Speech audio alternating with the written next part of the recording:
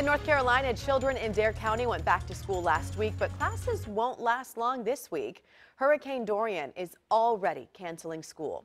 As we've reported, the storm is forcing a mandatory evacuation for visitors today at noon, and neighbors must leave by 6 tomorrow morning. In response, Dare County schools will have class as scheduled today. Then schools will close tomorrow through Friday. We will have that information and any other school closures on wavy.com. North Carolina Governor Roy Cooper is already asking President Trump for a federal disaster declaration ahead of Dorian's arrival. While some plan to weather the storm, Dare County Manager Bobby Outten strongly advises against that. Right now they have plenty of time to get ready. They need to pack up their things, get their medicines, get all their stuff they need, get food for their pets, make sure they've got somewhere to go. All of those things need to be taken care of. Uh, this is a big storm. It's a powerful storm. Um, the track's going to bring it right now right down the coast, right offshore, so we're definitely going to get impacts from it, and so uh, we need to be wary.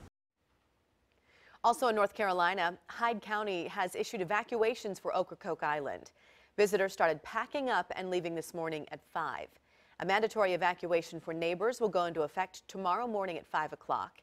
The Ocracoke Express passenger ferry will also end service for this season tomorrow.